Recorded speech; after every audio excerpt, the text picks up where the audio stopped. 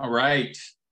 Welcome back to the blast with Dr. Dan putting the world on blast. Like, uh, I don't know, we're having a blast. It seemed like it had that dual, you know, so we're going to roll with it. Uh, essentially, I have comedians on here.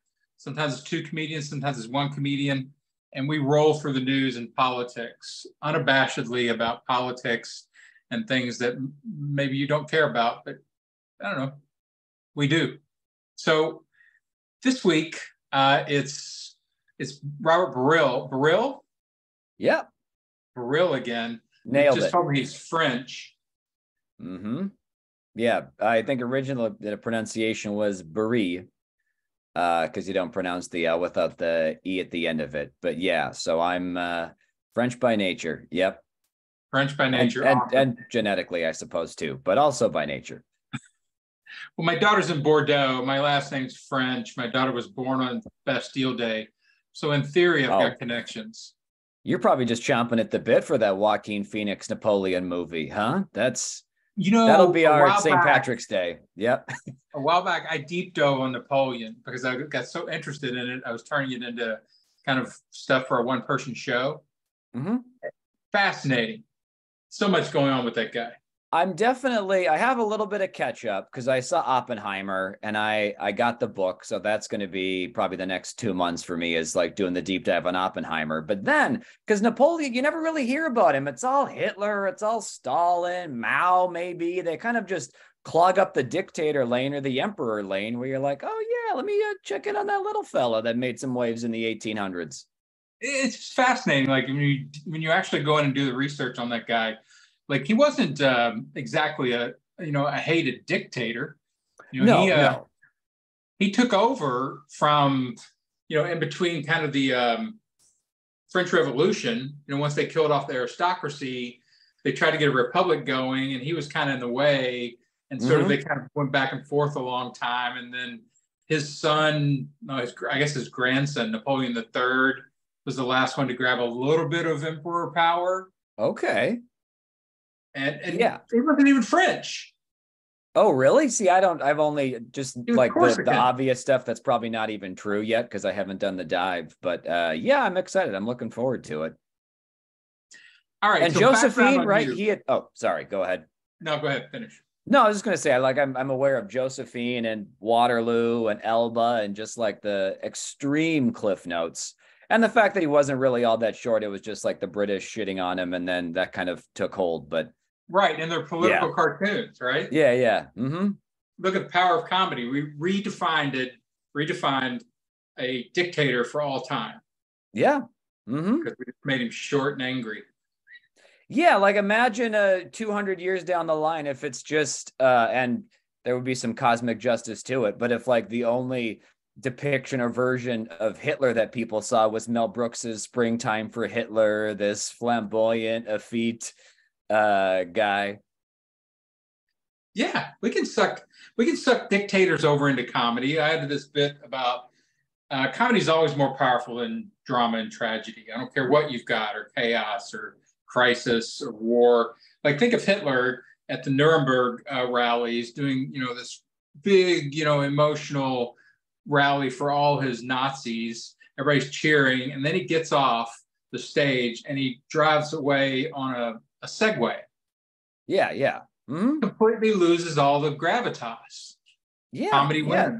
That was yeah, that, that was Mel Brooks's whole thing with even doing it is getting them to laugh at him. Because yeah, if you do the serious thing, then if anything, it almost venerates him even more. It almost dips into Riefenstahl territory where it's like triumph of the will. And then you have stuff that's like going on with with Putin and Russia, where Republicans can't suck up to the guy enough. And it was like, weren't you the anti-Russia? Like, is this what you want? Biden tries to forgive student loans and you call him a dictator or Yes. you know, emperor, and then you have like the actual dictator. You're like, man, if only we could have a leader like him. You're like, oh, is that what it would take if Putin forgives Russian students debt? That's the they'll be like, okay, you know what? Let's fund Ukraine now. This guy's just handing out education that we won't, we can't stand for that. Give give Zelensky some more uh some more drones.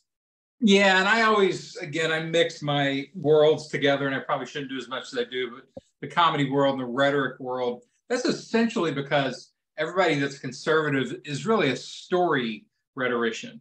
Like they just believe mm-hmm. the stories. They don't care about the facts or the logic or the contradictions within it. Yeah. But they care about is the story character and the mm-hmm. strong man character, whether it's an illusion or not. They love that strong daddy, you know, iron fist cleaning up the family character, and they don't care who plays it. Yeah, because there's no there's no room for nuance there. It's sort of like the people's history of the United States versus just like the great man theory, because it, it makes our job easier where it's like, well, I'm never going to be Lincoln. And like, well, it wasn't just Lincoln, or like it wasn't just Martin Luther King Jr. But in perpetuating that, then if anything, it discourages mass movements and stuff because it's like, no, no, it's great men. We're, we're not great men. We might be okay. We don't beat our wives. We don't, whatever. We're not, we're okay. We're not great.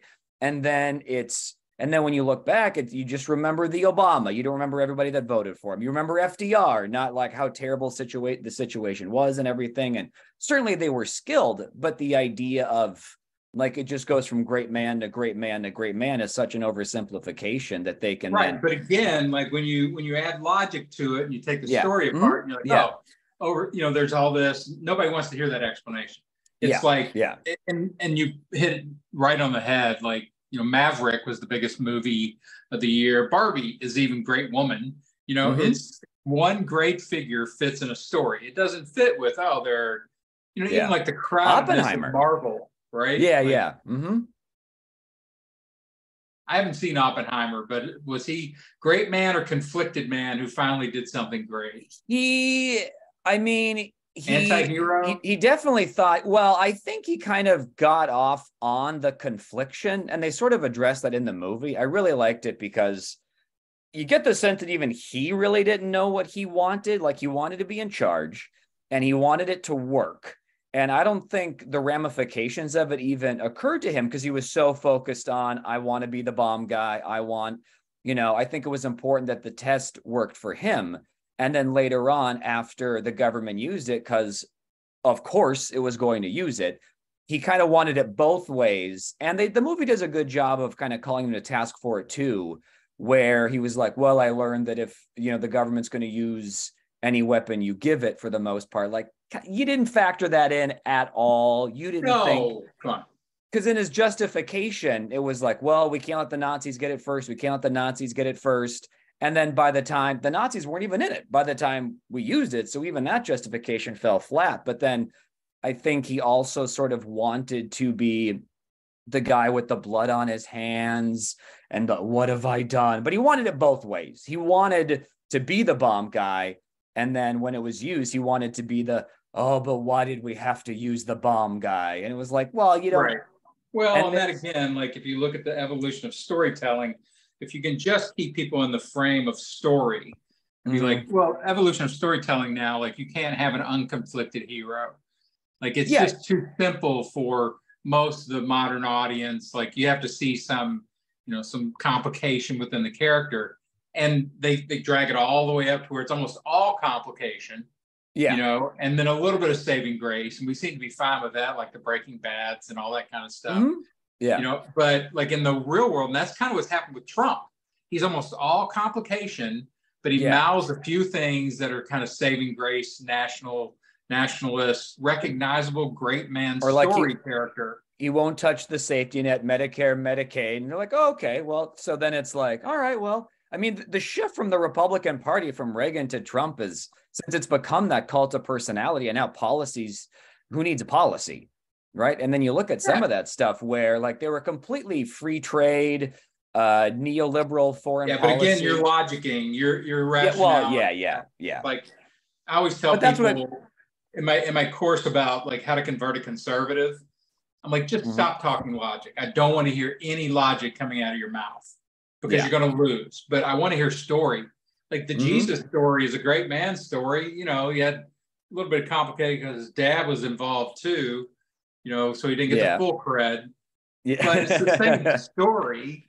Yeah. You know, and if you want to compete with a great man story, well, then go in and, you know, pull out the rug underneath the great manness, which yeah. is what they keep trying with Trump, but they're doing it the wrong way. Like, you know, if he, if he was, if he was something that was clearly a villain to the right, like if he was mm-hmm. gay, if he yeah, was trans, like any of those things, if he was a different color, Yeah. You know, any of that kind of stuff, you can complicate him, but it's really hard to do when he's just a big white man with a big mouth.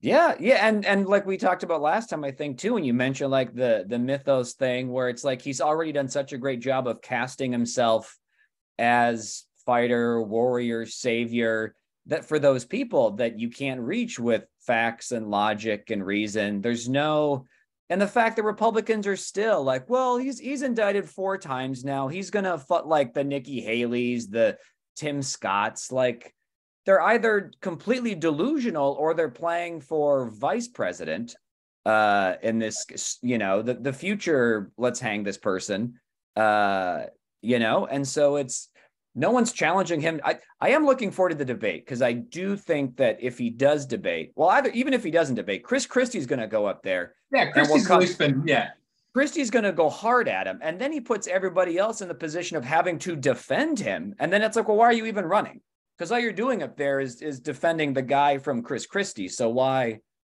Yeah, if you can get somebody in to do slander on Trump mm-hmm. in prime time, yeah. you might get a little story traction. Yeah, you know? I think but if anyone, I and I doubt he's got a chance, but at least Christie's like the only one in that lane of, and he's he's got he's he's built a nice little narrative for himself too.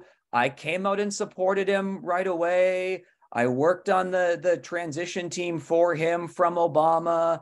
I clashed with the Kushners. January 6th happened. I realized he wasn't. So now I've learned my lesson and yeah. I still have the conservative principles. Fool me once, Trump, but you're not going to fool me again. And I'm not saying that people buy it necessarily, but you do see that, like, okay, you need like an arc, a story versus just, you know, policies, the, the policy differential, which no one cares about. Right. Now, Christie's playing the story narrative of the contrite sinner, you know, mm-hmm. the, the the saved sinner, which plays really well with that audience. If you can get in there, if you can wedge yourself in enough, and you know, again, you've got to turn Trump somehow from the superhero into some kind of middling, you know, person in the middle, and that that wedge might work. I mean, Pence is trying the same strategy about yeah. you know the saved center. Yes, I believed, and we did a lot of good work. But then he went too far, and I had to you know slightly balk. Um, I had to use I. Well, actually, it was funny because like it wasn't even like he had to use power. There, there was no power. Like you didn't have the power. So his big act of rebellion was not using power he didn't have to stop an election that he couldn't.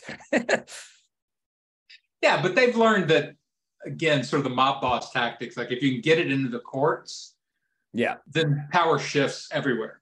Like the, the differential power is completely different inside the court. So if you can get it into the mm-hmm. court, mm-hmm. Yeah, you know, and start playing court games with it, then you gain new power. Mm-hmm.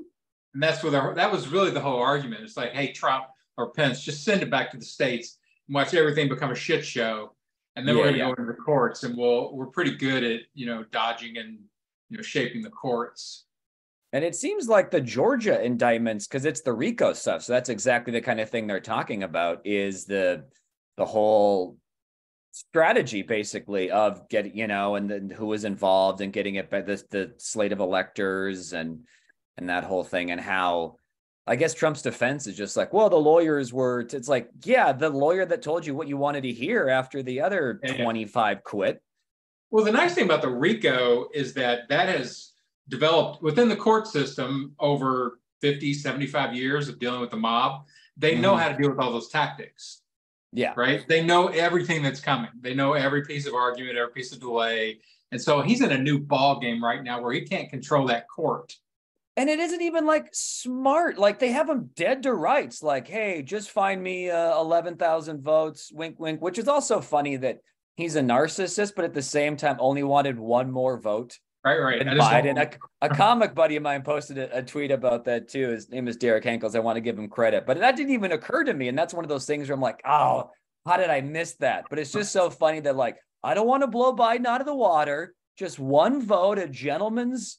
You know, I don't want to make him look bad. Let's just get one more. Let's just get find one more vote than what I need to to be the winner. So, so I, I, saw uh, something on your um, feed where somebody was praising you or written you up as one of the promising new political comedians on the scene. So talk about that a little bit. Are you out in the clubs doing politics? Are you doing social I, issue stuff? What are you doing? I, yeah, I mean, so yeah, both. I think polit. I mean, it's not soapboxy. It's not going up there. I I open with uh, a pretty good chunk on Biden. Um, I, I mentioned the cocaine at the White House. I mentioned RFK Jr. and and so I start by prodding the left a little bit, and then from there, I just I kind of go back and forth, and I don't do anything too overt but then um, it's structured in a way where I don't think I'm hammering one side for too long without going back to the other side. Because then I, I mentioned the right trying to attack Biden for being woke, and that kind of gets me into this LGBTQ AI bit. But then I, I focus on the fact that A stands for asexual, and then it's like, well, what are we even doing here? Like that's the sexual identity group. Like what's so then I kind of make fun of that, not in a way that's I, I, that I feel like is punching down or anything, but just the inherent nature of asexuals within a sexual identity group. And so I feel like everyone laughs at that, but the right can really sort of enjoy that. And then I feel like I built up enough goodwill with the Biden and the asexual stuff. Then I kind of pivot more to making fun of the laws that are going on in Florida, the Don't Say Gay bill, the banning the books. And I find an angle on that where it's just like, we can all agree this is pretty ridiculous. But then it's i feel like the left and even the right a little bit because not all republicans are for that stuff. They're eh, they're fiscally conservative they're isolationist they're whatever. So it's a matter of just kind of cherry picking particular issues and putting a little bit of a spin on it where i can get most people on board with me and then riding that out for a while before doing it again on the other side so it is politics but i don't i don't think i'm i'm being soapboxy about it i'm not saying I'm right, you're wrong. I'm saying I think we can all agree this is wrong. And it seems to be working pretty well. Yeah. So you're finding techniques that let you do that material without instantly triggering, you know, the the triggerables out there. Like I've yeah. done that before with one of the things I do when I do political stuff is again sort of going back and forth on both sides, but it's like hypotheticals, right? So you say like this and this and this is fine, right? So like you who mm-hmm. wants to build a wall? Okay. Yeah. And people, some people still, yeah, I want to build. Okay, great. How how high is the wall? Like yeah. hundred is a hundred feet okay? Mm-hmm. Like a mm-hmm. castle wall with can we put armed guards on the wall to, to pick people off if they're trying to get over the wall? Like are you like what yeah. are you okay with? And and yeah. to get them to think within the broader context of the, the idea of what is mm-hmm. a barrier and what's acceptable. Like, can we electrify the wall? Yeah. You know, do you want to, and can we take videos of that so it gets triggered and you see a, family, a Guatemalan family, you know, fry? Is that yeah. cool? That yeah, yeah. Would you watch that feed? We'd probably watch that mm-hmm. feed. Yeah. Is that, is that what you yeah, want? Yeah. Mm-hmm. And I think that hypotheticalness gets people to broaden it into a meta issue instead of a you know lockdown. I've only thought about it in this narrow bandwidth issue, which is yeah. what comedy's great at. Take them out of that bandwidth a little bit, and they don't know how to locate themselves for a mm-hmm. little while so you can do some cool work.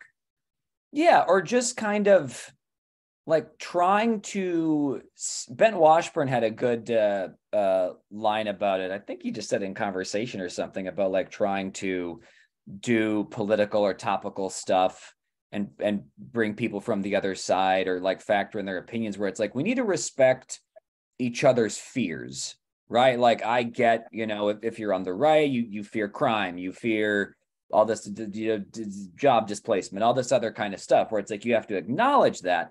And so when you're doing jokes uh, about it i think you need to kind of be respectful for some of the concerns that the other side has. And that's why, at least when I do it, I try to pick particular issues, whether it's the Michelangelo's David statue being considered pornographic or some other stuff where it's like, okay, like maybe, maybe I am targeting probably religious conservatives that would see something like that as pornographic, but at a comedy club, at a bar, even if it's in Wisconsin or Iowa, like some red state, like if you're an adult at a bar drinking, you're probably okay with some pornography jokes, some like anti-religious stuff. Because I'm not doing the material in church, then I would imagine it would go quite poorly. Although that would be a fun idea for a special, is me just bombing in a church for an hour. Um, but maybe yeah. not call it bombing in a church. Maybe no, probably not. No, that's historically that would uh, that might trigger some people, and rightfully so. But I'd find a sacrifice, maybe a, some sort of sacrifice angle right. for it. Jesus yeah, isn't yeah. the only one who died up here. I was about to say, yeah, or dying for your sins, and then. All right, I'm going to give you a topic off the uh, news, and let's see what we can come up with in the moment. You saw this, but uh, there's a German supermarket giant called uh, what was it called? 80 uh, Aldi's brand. Oh, yeah. They just they just bought 400 Winn Dixies in the South. So the Germans are taking over the southern supply chain. like you know, 100 years late, but they finally, you know, yep. got in and took out the American supply chain. Are there any uh, Polish supermarkets that should be on watch right now? Or are there any, uh, or probably in Chicago, some uh, sausage places that need to be uh, at red alert? Yeah, how are we going to stop this? Like once they, you know, they've taken Winn Dixie, what's next? I was, Kroger's? I was about to say, yeah, I'm French. Like this is not boding well for any uh, uh, cafes or something in the. Not that there's a lot in the middle of the country, but yeah, I mean it definitely. It's I feel like Germany they they're they're ready to make their move now. They've been laying low for a while. They they nixed the they're coming the, up through capitalism. They're coming up through the exactly capitalism yep. this time to tentacle their way into the body of America. Yeah, well, that is kind of what they did uh, economically, right? Over in Europe with the EU, as they kind of became the economic powerhouse. And then instead of like, I mean, this isn't funny, this isn't a bit, but like it's sort of just like how they recalibrated from like, well, we don't need to militarily take over. We can just, because they have such an industrial base, we can just decide what strings we want to attach to all the money we give out and then the countries have to play ball with us if they want bailouts if they want well that's that's whatever. america america did the yeah. same thing mm-hmm. right that's, yeah yeah that's how we you know gotten bases everywhere. It's how we've gotten our mm-hmm. culture everywhere is is through financial imperialism. Yeah. Mm-hmm. Yep. So it's you know you can't fault Germany for that. Yeah, do a bit about that financial imperialism.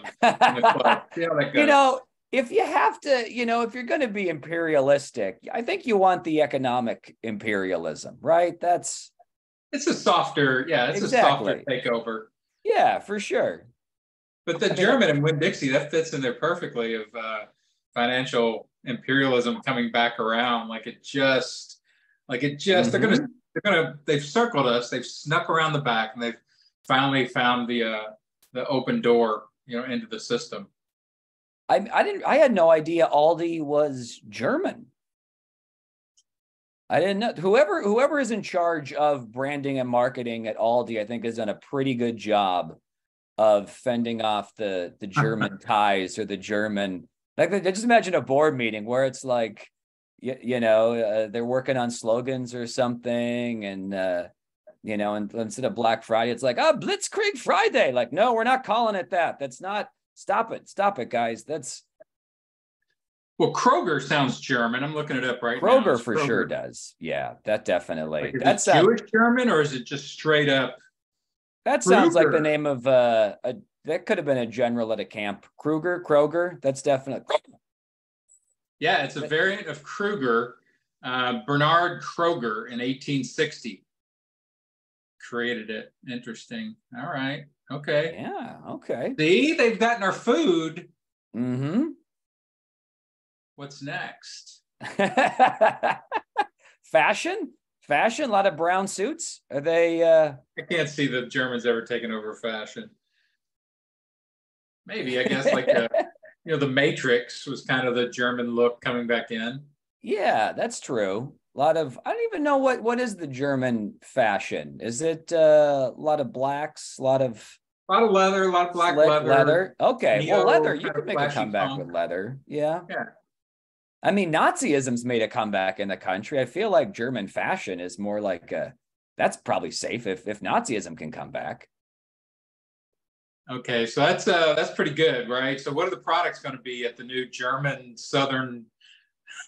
oh my gosh. Okay, well, let's see. Um, some kind of corn dog with you can bludgeon somebody with a corn dog. Is that what it is? bludgeon sized corn dogs. Man.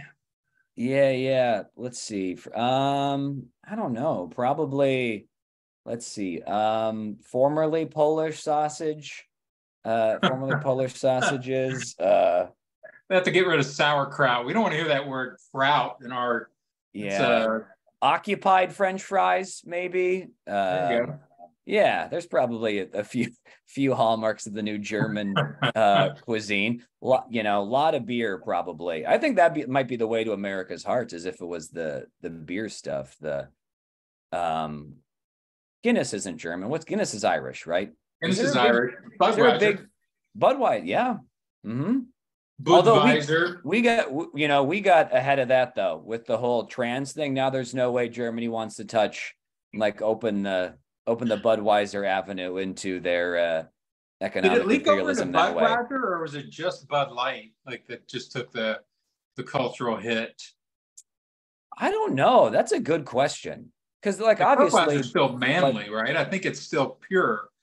Yeah, I did do a bit about how Bud Light sounds like how bros would refer to their friend that is transitioning into a woman. Like, this is my Bud Light, not full Bud. She's okay, not cool with everything. So not like uh, but yeah, there I wonder, I wonder how much but if it's just the but because I know I did um the funny bone in St. Louis.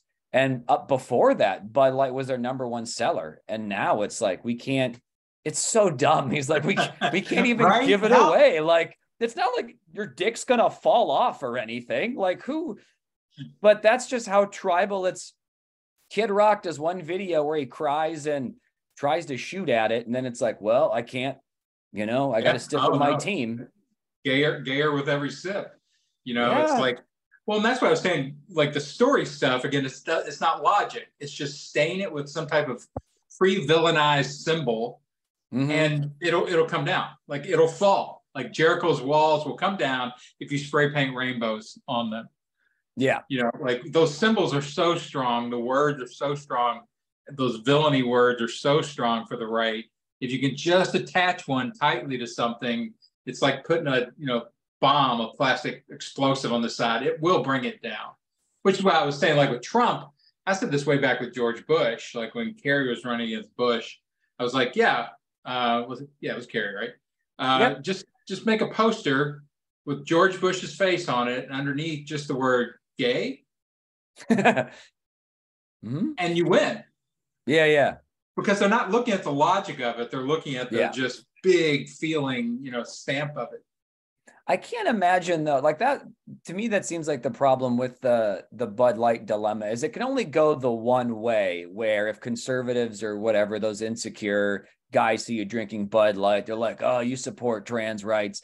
But I can't, imagine, especially on the left, where it's, it just seems like it's craft beers and stuff, where it's almost like, hey, in solidarity, you want to drink the Bud? Like, no, I'm not drinking the Bud. I appreciate the sentiment, but like, I doubt there were a lot of people that suddenly took up Bud Light as uh, the, you know, the protest drink or like maybe tried it and were like, nah, I'm going to go back to my yeah, it's not hazy IPA. The, yeah, it's yeah. not crappy enough for the um, you know the bohemians like it's got to go down all the way to pbr or something like that for them to sort of yeah. dip down into the lower cultures products.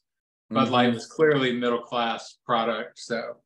Yeah. Well yeah be interesting if it was pbr i feel like pbr def they might have even gotten stronger with that based on their base but yeah bud i mean more power to them for trying it but with with your base like that it definitely seems like you're playing with fire a little bit yeah, the question becomes like who who made that decision and did not see this coming like at Bud Light? Like what was the yeah. marketing team or the executive team that was like I mean if you did it purposely, you're shooting, you know, a shot across the bow of the right and you're at some kind of marketing structure underneath it to capitalize on that energy.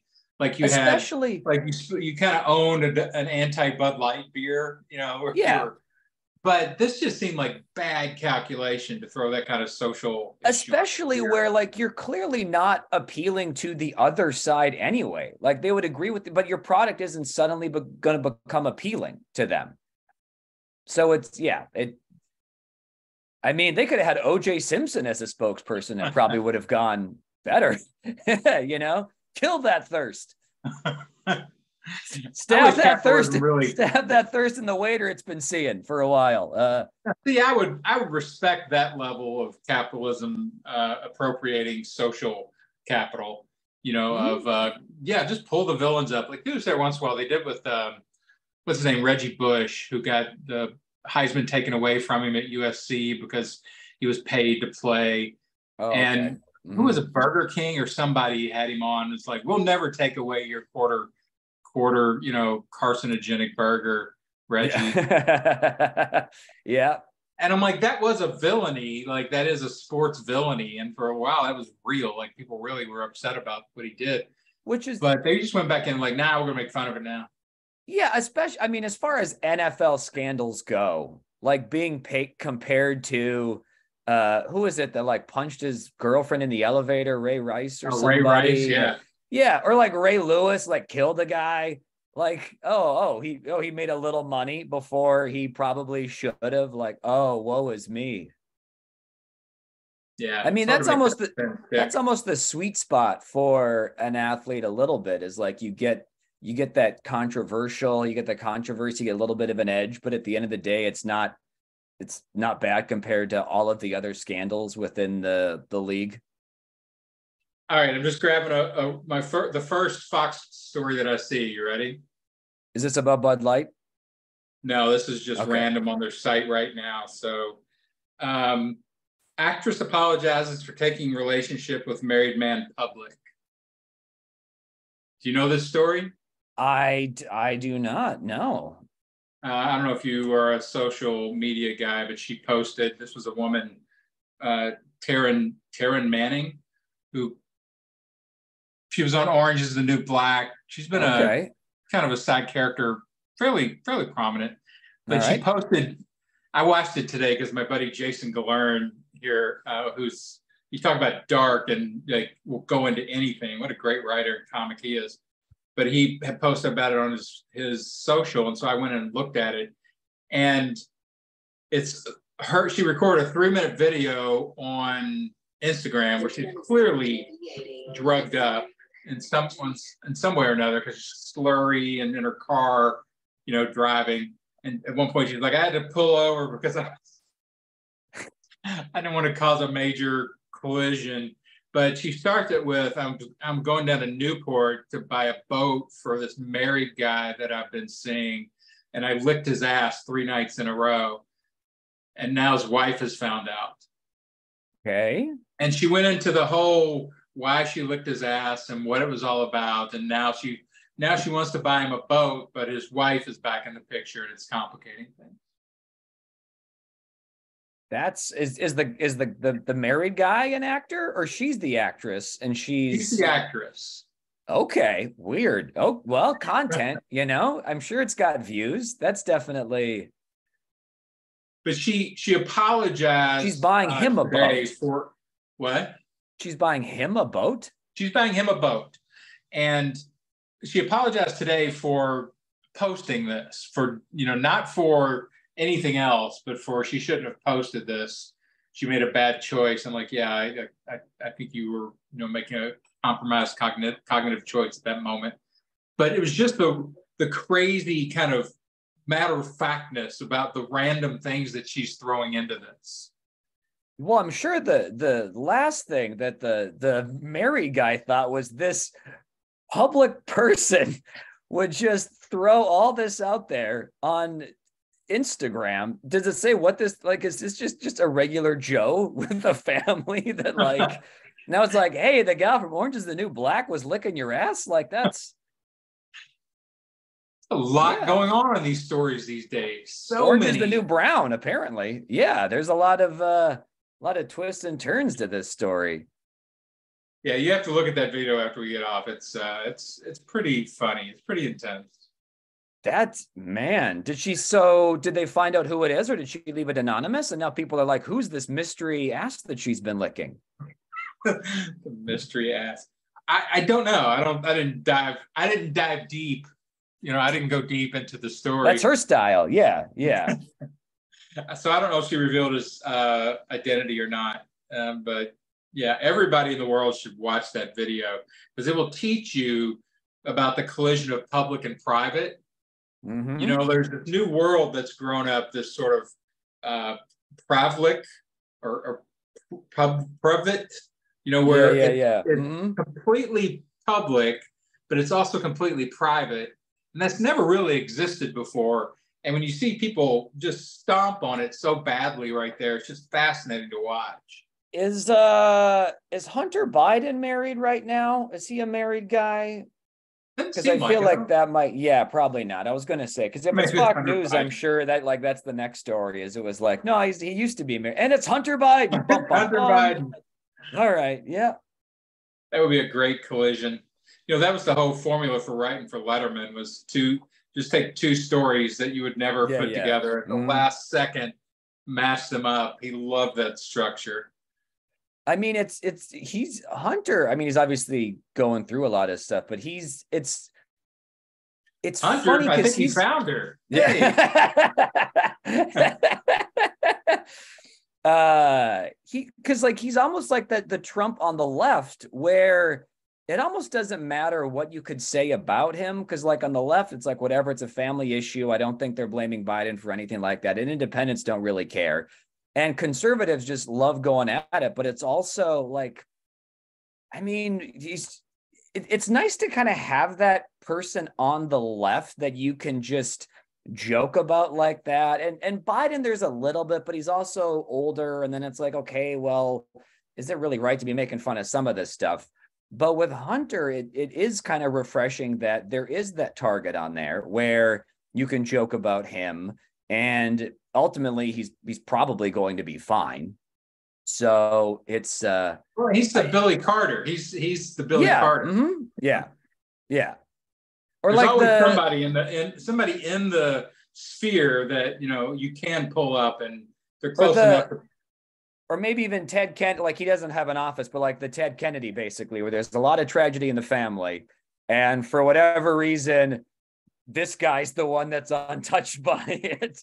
And you know seems to be thriving and maybe doesn't make the best choices and stuff. But you've you have more uh seems like you know nobler members of the family that uh aren't making it to to a long life. And teddy and hunter are uh, persevering well i i suggest everybody go and watch that video uh, it's it's worth it it is culturally significant that video well we'll know who we'll know who the guy is when the uh, boat shows up at his house. I'm sure there's I'm sure there's a wife who's like, "Was it you? You're always asking me to lick your ass." He's like, "No, damn it, it's not." Oh, you think the orange is the new black lady? Would that, like she be interested in me at all? Let alone. And then the boat pulls up and she's like, "Get out of this house." You're like, "Well, I'll be living well, in maybe he's like super boat guy and he's like, "It's not my ass, it's my aft." Use the right terminology if you're gonna well, if she does kick him out, now he can live in the boat, which is, you know, so all right. That's yeah. Right. Let's Listen, just boat. just tow this to the marina. I got to live in here for a while. All right, here's another one I saw that I thought was pretty funny. Uh, I'm just going to read the headline to you. This is from CNN. It's one of their kind of side, you know, sort of life interest stories that they pull out of Florida usually. 61 year old Florida man arrested. Okay. Standard. Yeah. Fine. Wouldn't even After, need to say the Florida part. Yep. Right. After posing, sure. Okay. That's, again, you can see this happening as a veterinarian and operating on a pregnant chihuahua that later died. I'm honestly surprised he didn't have sex with the chihuahua. That's the only part of it that surprises me of this. It does story. not say he did not have sex with the. That's true. Chihuahua. That's the true. I am extrapolating we don't under, know, you know, pregnant with what? We don't know what got that chihuahua was pregnant. That's right. Was he covering his tracks? Because then he knows when the chihuahua delivers and it's this ungodly man dog hybrid that the jig's going to be up. That's one thing I really do like about clickbait. It lays so many pieces into the story that you cannot put together.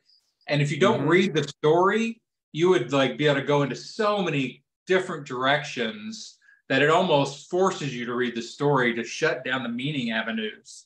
I want to see the the Curb Your Enthusiasm ish scenario that led this guy to, or Seinfeldian scenario that led this guy to pretend to be a mm-hmm. veterinarian to operate on a Chihuahua with no experience and can't not do it. Yeah, I don't maybe trying to impress trying to impress a girl like I you're like well I can't be a doctor because then she's gonna you know what a veterinarian because the animals yeah. can't say that hurts or that's wrong or why are I you can if I kill a puppy whatever like it's yeah I can't do this on a woman I can't be like hey I can everybody get back I'm mm-hmm. I'm here like Ronnie this isn't this this isn't good for the United States' Chihuahua mortality rate I will say that that's definitely taken a hit. All right, so I'm going to give you pieces of the story and we'll see how it cleans itself up. So he was not a registered vet- veterinarian. So, okay, okay. we got that yep. kind of in the posing as. Always look up your vet, people. He was a registered pet groomer. That does, that's not enough. That's haircut's not enough. I don't go to a barber for a kidney transplant. Uh, this was a home visit. Like this was a, uh, he, he, he came, came, to, the house. Home Yes. Oh man, the groomer did. Yes, the groomer came to the house. It was a good looking corpse, I bet, though. Like the Chihuahua died, but I bet bow, it looked great. Oh, exactly. The bow. Yeah. Oh, mm. yeah. She looked better than she did when she was alive. Open casket. Open casket. Six hundred bucks he charged for the procedure. Seems like it'd be steep. I don't know what the going rate is for. He was just going to help the Chihuahua deliver, or what was? Does it say? It doesn't say. Like there are missing stories in the journalism. Like they have not sent yeah. their best. Listen, we understand you're cover you're covering the shelling in Kiev, but we got a we got a Chihuahua uh, that we need you to look into. And it turns out that she died. Um, Sugar is the name of the dog. Sugar. Aww, yeah. So Sugar died from an infection because he uh, sewed her up with string. So close. So close. So close. He almost got it right. That's the, that's the real tragedy is that he bluffed his way through it and nearly did it and then used string. Yeah. Yeah. Right. I'm trying to see if the puppies do, made it. It doesn't say. I got to look that. Oh no, a stillborn puppy. So the puppy didn't make it either.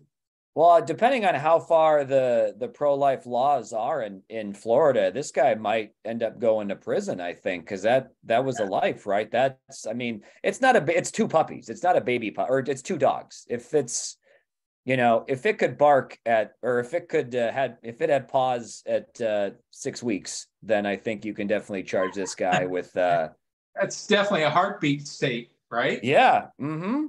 Yeah, the tail starts wagging at uh, conception, I think. So this is definitely a, a dog murderer. Osvaldo Sanchez. So if you hear, if you see that name mm-hmm. at your uh, vet's office, do not leave your Chihuahua.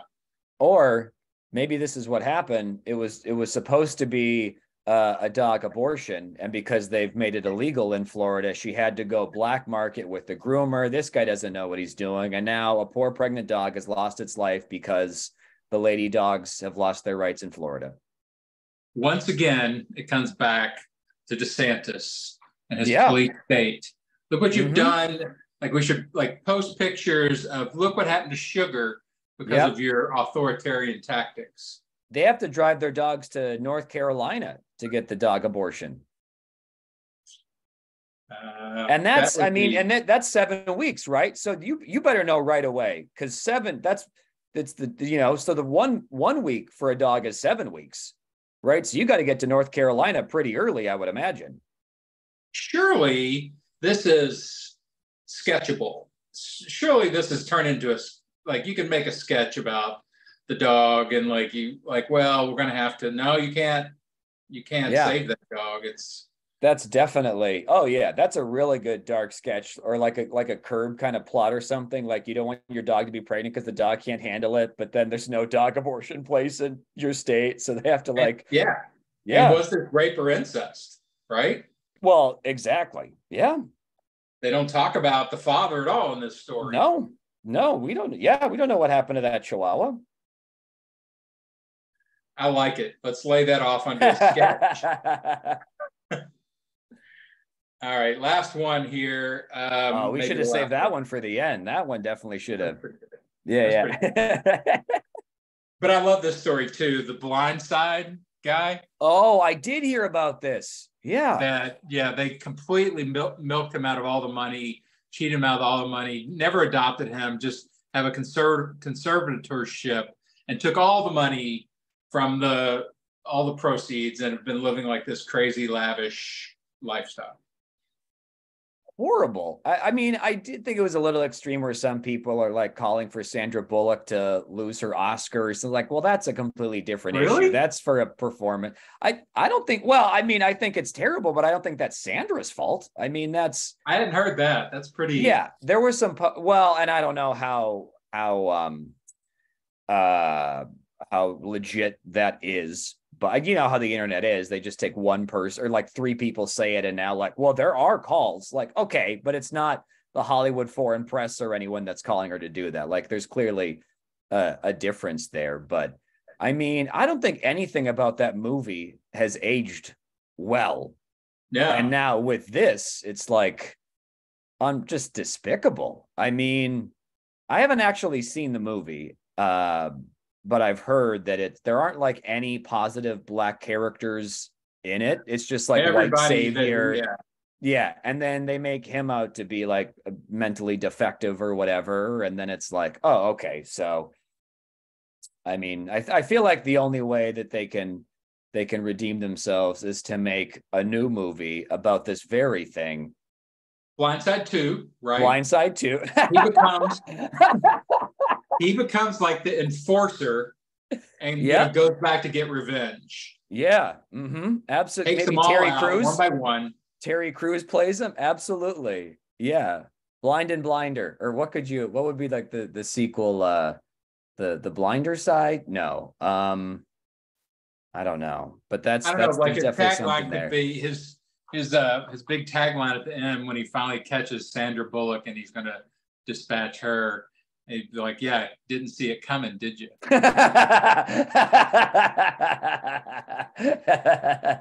or like that's his line at her funeral or something, and like, "Yeah, she didn't see it coming." Yeah, that's great. That's really funny. Yeah, take out the blind side. That um, I, I, just love those stories when they actually come back around and you you get the uh, story behind the story behind the story, and it just mm-hmm. shifts the whole world. Like the whole the whole moral universe suddenly goes, whoop, you know, and these guys who have been heroes suddenly become these massive villains. It'd be like Erin Brockovich. Turns out she put that chemicals in the water for yeah, 10 yeah. years. yeah. I mean, there is a lot of history like that where for a long time school kids were taught that Columbus was this wonderful guy, you know, and then you're like, oh no, he was uh he was awful. So I mean, there's, there's yeah, probably, but it's definitely. I, I bet most historical characters, like if we actually went in and could really detail transparency behind the scenes of how they lived their lives and who they were, like they mm-hmm. tried that with MLK, right? With the affairs. Yeah, yeah. You know, almost everybody has again the kind of character, you know, half dark, half light. But if you just tell the light, it opens it up to just you can just pull one string and it just all tumbles. It's yeah. historically most famous people.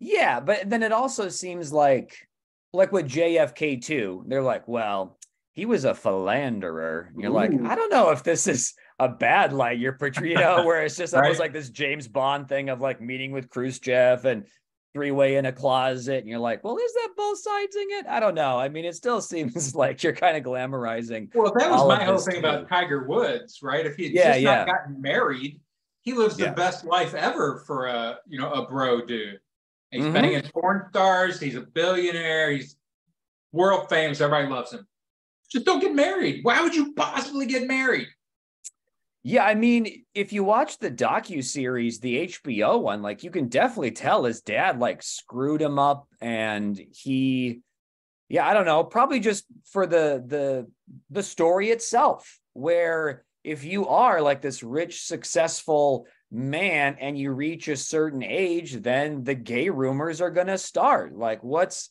unless you're Leonardo DiCaprio. I mean, I think you just have to lean in. If you are going to be the bachelor guy, then you just lean into it like he does, like George Clooney did up until he married the the one international lawyer or whatever for a while, but like you know, just uh be you, right? Just stop like, you know, when yeah. you have trans people, like the bravery it takes to to do that publicly, then like it's a very small step to be like, you know what, I don't I don't think I'm cut out for monogamy. I doubt the world if Tiger Woods did that would be like, shame, shame on Tiger Woods.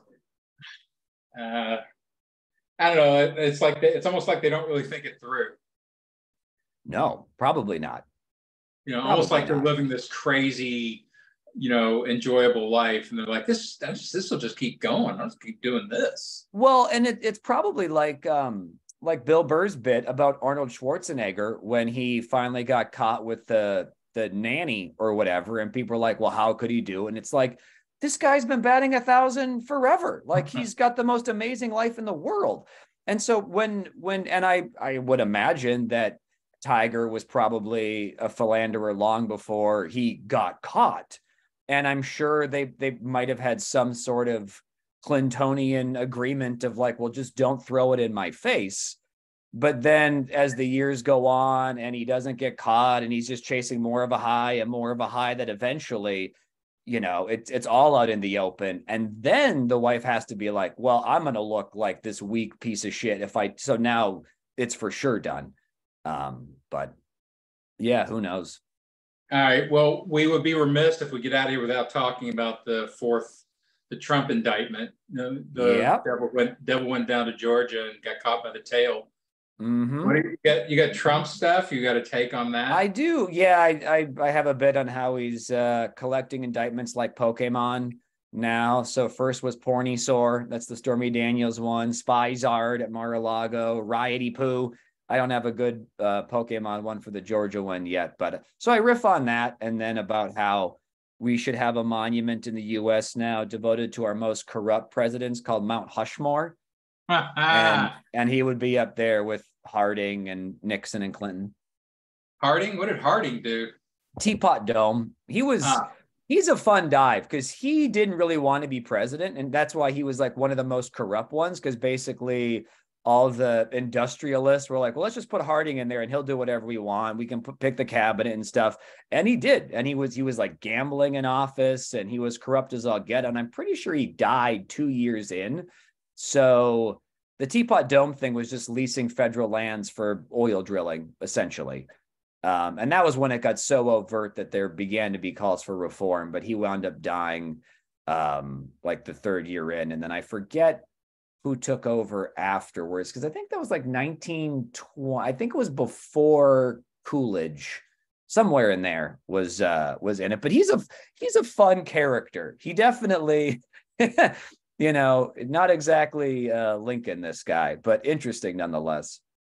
Yeah, I thought the other day, like, um, I like doing the obscure things. Like the thing about Napoleon that I like about it is that everybody has like seven mega touch points of information about Napoleon, like Waterloo and Josephine. Mm-hmm. Mm-hmm. But they Wellington don't know, and they, yeah. they, don't know anything about you know him really. Yeah. Which yeah. makes it a perfect thing to go back in underneath and start filling in details. Mm-hmm. And I thought about going after Millard Fillmore. Sure. Yeah. Like just like I, I have this, you know, Jones for Millard Fillmore, and I just bring it up all the time. And and like, why can't how can you possibly not still be upset about Millard Fillmore? I mean, and just use that, that as my use him as my sort of Trump straw man. Yeah, yeah, yeah that's i mean that could definitely be like a fun sketch too if you do like black and white white house correspondence dinner for millard fillmore and then you and then you have everybody dressed like from that time frame and you're just like the comic that was booked and then just roasting him using references of the time and stuff and yeah. that would be fun like a yeah. yeah like i think historical presidents. Yeah, that'd be like the now that I, that is a great idea. Yeah, like correspondence dinners throughout history yeah. for the presidents. Yeah, that is a really good idea. Yeah, I like that a lot. That's fun. Good sketch. Write that yeah. one up. I will. I'm going to jot that down now. That's a good idea. Because yeah, you combine no, like drunken history with Comedy Central roasts and sorry, go ahead. No, I was going to say like uh, Millard Fillmore, 18- 1850 to 1853. So he only was three years. Did he die? Did he die during the That's the thing. You only ever remember the ones that were murdered, but a few of them died in office. No, he took over from Zachary Taylor, who died in office. Oh, okay. So, son of a bitch killed Zachary Taylor. he wasn't even elected. It's true, and wasn't Was- reelected. So apparently, people found out, you know, how rotten he really was. Did Taylor was was did he get reelected and then took over? Because was Taylor like one of those William Harrison guys? Like, did he was he only in office for like six months or a year? Uh, Zachary Taylor served as the 12th president from 1849 until his death in 1850. Oh, So, yeah. well, there you go. I think he was from Louisville, where I'm from. Right? Isn't that Zach Taylor? Yeah, he's from Louisville because they kept talking about exhuming his body, uh, you know, to prove that Millard Fillmore killed him. He was supposedly poisoned. Oh, re- you're not joking. That's a thing. Like they thought Yeah. that's very Roman. That's really fun. I like that a right? lot. A That's bit of- yeah, that's some House of Cards stuff. Right? Yeah. Like Trump's our closest to, well, I get who would be our closest to Caligula? Would that be JFK? Oh, like man. hidden, but Uh, well, sexually maybe JFK, but I don't. You'd probably have to go back to one of these 1800s guys that could have got away with being like a real psychopath and no one would have known. I wonder if you did that like a um, like a corrupt off or whatever, like uh, Caligula versus Pope Innocent the Third. I think it was. Yeah, third. yeah, yeah. You know, like, and you just like went down the list, like you know how they do those battle royals, like would a ninja beat a Roman gladiator? Yeah. yeah, yeah. Or like if a bear fought a shark, you know, that kind of thing. Who's Yeah. more Mhm. degenerate, Pope Innocent or Caligula? Yeah, yeah, that would definitely. I'd watch that show for sure. I don't know if any former president compares to Caligula, but it definitely that is one thing too. I you know, and it's like, what's the History Channel doing with the ice road truckers, with the you know making swords show? Like, delve into some of these. Pro- we don't know anything about these guys. They could have been freaks and weirdos. Yeah, and there's all sorts of crazy stuff back there. Like, no one, like no one knows them. like again, like you're talking about, like Napoleon getting slandered by the cartoonists. Apparently, that also happened to Caligula, right? Like, Mhm. like a lot of that stuff was just complete fiction that was used to slander him to get him, you know, deposed. That'd be so in in real life. He's just like this Jimmy Carter, like just a sweetheart, and he just makes like one one one catty remark to a woman or something, and it's like, oh, he's having orgies and drinking blood and chopping off heads, and Now, there's a good rhetorical project. Can you turn Carter, Jimmy Carter, into a villain? man, you know, it's he's the he's gonna he's gonna beat hospice. This guy, like this. the only guy to ever get out of hospital. The old, yeah, Wow. exactly. He couldn't beat Reagan, but he'll beat hospice. He will come out stronger than he went in. Uh, he wins every race eventually. Yeah. Doesn't get reelected, but um, yeah, those guys. life. Like I remember, like with Gandhi, the only slander I've ever heard on Gandhi was he slept with his 13 year old niece, both of them naked, to Oh, test like- himself to test himself to see if he would have an erection because he believed he completely destroyed any type of of you know earthly desires. I mean, noble idea, I guess. The, the, the way he chose to carry it out, I, I He's an is very. empiricist. That's Yes. the point. He Mhm. needs actual proof. This this exact test uh, was failed by Jerry Lee Lewis, I believe, in the uh, early 1950s. Yes, and probably half the male population before That the 1950s. Yes, that was to prove he could get an erection. I think he was trying to prove the opposite, and boy, howdy, did he come out on top in that. It's Great really funny. balls of fire. Yeah, it's funny because like Elvis, because Jerry Lee Lewis is at the top of the world, and he's he's like, hey everybody, this is my yeah, you know, goes out whether married, they do a little bit of research, like, oh my god. And then Elvis, who was like all set to like, hey, this is Priscilla, was more like, ah, let's just keep her away from the limelight for at least three or four more years, I think. Yeah. Uh, Mhm. it's a whole different approach to pedophilia. these guys took. Absolutely. Yeah. Yeah. hmm Hmm. Well, there you go. Like, uh, so what? What's your prediction for Trump?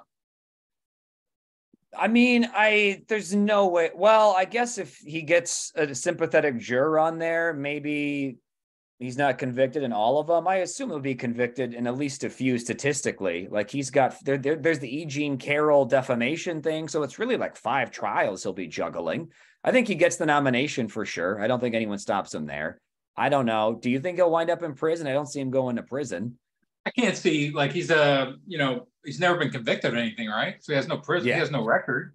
Yeah. So first time offender doesn't seem like that's a prison sentence. I mean, but it is treason.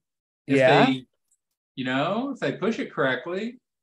I don't. as far as legally, I I don't think it's likely he goes to prison. I think it's more than likely he gets convicted of a few of them. But then, is it a fine? What is it? And he'll probably appeal, and that'll go on. I'd like to think that the American people, especially with the whole year of him bouncing from trial to trial, and as long as Biden can keep it together for one more year, I think we'll get real. And then hopefully he just like peace outs after like a year or two and is like, okay, I'm, you know, I'm out. And yeah, I, I don't know what, you know, artificial organs they're going to put in him to keep him going, but he's not healthy right? Well, that's the other thing too, is like you almost watch it and just like as a human being, you want to be like, this is not how you should spend your last, you know, you're a grandpa. You're like, why are you letting everybody rip on you for staying in the but I guess part of it I would imagine is just he's wanted this job his whole life. He finally has it now. Um, I mean, if he does die, you get to die president. Like they, we haven't had that since like FDR, right? Like he'll go to bed president Think and we'll booze. never know Think of, not being president. Like you know the Gandhi, the Gandhi funeral, there weren't people booing, right? Yeah.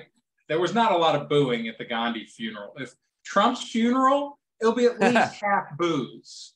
Yeah, I was about to say when when Biden does die, whenever, especially if it's in office, I think you're going to see like a complete then he'll be like this elder statesman that you know helped obama helped the country. Like right now it's like oh he's a piece of shit. He can't bring people to and then like the second he dies it'll be a complete 180 and the well he helped unite and help. But yeah with trump's i mean it'll probably be it'll be a party for everybody. The right's going to be like woo our boy celebration. And then the left will be like thank god he's dead. So i don't think there's going to be any real mourning. I think there's going to be a celebration of life on the right you know, like a Viking funeral, and then the left will be like, you know, dancing on yeah. the grave.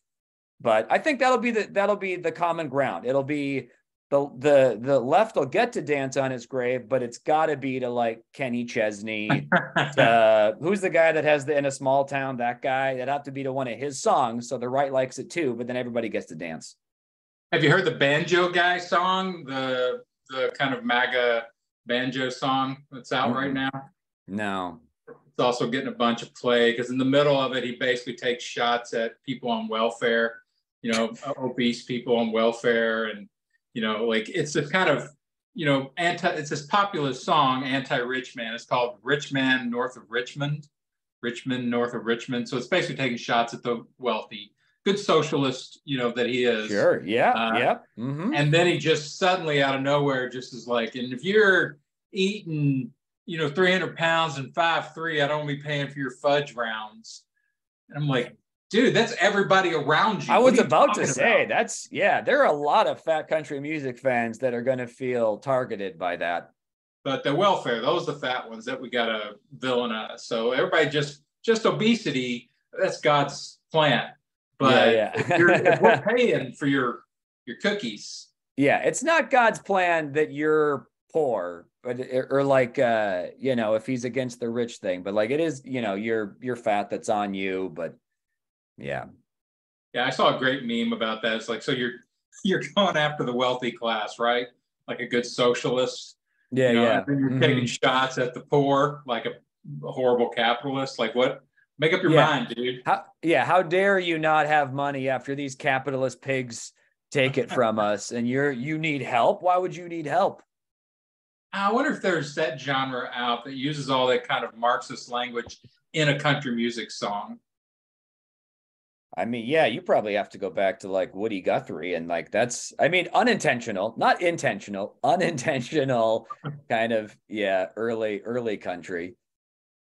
Yeah, and somebody said that they made a, a it's like, hey, draw um draw a line between this guy with his banjo and his Richmond song uh, all the way back to Woody Guthrie and you know people who are clearly singing for the values of the poverty class and the working class, not taking shots at people that are in the poverty class. So, but there's that sense of um, they don't they don't really understand the concept of socialism match up pretty pretty well with a lot of the concepts of you know working class blue collarism yeah there's probably my guess is there's probably somebody in this guy's life that like bullied him and is fat and on welfare now or his dad is like treated him like shit and is fat and on welfare like i think to have a song like that and then just a complete like what is this even doing in here is probably like i'm to stick it to phil in this part of the song. Yeah it's probably not social commentary it's personal attack yeah, I think part of it is just like that. I think it, it maybe it, it's based or the inception of it. The idea was like sticking it to the elites, the power brokers, the wealthy. But then he also has like this one real fat poor person he just can't stand and can't. He, he's willing to set aside principles to stick it to this one fat, but he can't sing it. It can't be like, you know, screw you, Pete. He can't say that because everybody's like, well, who's the Pete he's talking about? But like, yeah, well, yeah. and I think like him earning it by by making sure this person was on welfare. Like as soon as he described that character, I'm like, well, that's my that was my Indiana Meemaw. Like yeah, yeah. Five three cookies. Like, but then it's like she didn't pay for those cookies herself. yeah. So, all right, man. It was super fun. I appreciate you jumping yeah. on here. Thanks, man. Thanks for having me anytime. Yeah, good stuff. Get out there. Where are you next? You just did uh, right? I was at Acme in Minneapolis last week, September, I believe it's 8th and 9th, whatever that second Friday, Saturday is. I'm doing the DC Comedy Loft with my buddy Steve. And then the end of September, I think it's like 29th and 30th, I'm doing the Lounge at the End of the Universe in Boise. Cool. So you yeah. feel like in, in Acme, that's got to feel like a comedy comfortable environment. You could just do whatever you want. Yeah, I, I mean, I try to do it wherever I'm at, and then I can adjust accordingly based on. I mean, I've done enough shows where okay, they're a little hostile to that. I can pivot and stuff, but I mean, the way I'm framing it now, I think I get most people on board for. So we'll see. But I try not. I try because some people are like, well, do you do like liberal jokes for conservative crowds and conservative? I'm like, I try to do that for the people that are in the audience that night. Like it's it's going to be different people, and so it's you know, I'm not going up there calling Trump the devil. You're all retards for loving him. Like I'm, that's not what I'm doing. I'm taking issues and joking about. Can you that. do that for me? Can you do one set where you just do full, totally anti-Trump and just do it, and we'll tape it, and you'll yep. get some national attention I'll, from that. That'll be that'll be my closing bit in the church. That'll be the the dying for your sins special. Yeah, Trump on the cross, right next yeah, to yeah. Jesus. And they're talking to each other like, "Yeah, me too, you too." Yeah. yeah. It was rigged. That election between you and and uh, who is it? Uh, not not Brutus. Was it Brut? No. Who was the Barabbas? who was Barabbas? Yeah, Barabbas. It was rigged. It was rigged. You you should have won that one. awesome. All right, man. Yeah. Well, uh, everybody go out and see Robert Baril. Check out his website. Very funny guy. Appreciate it. We will uh, see you again on the blast with Dr. Dan.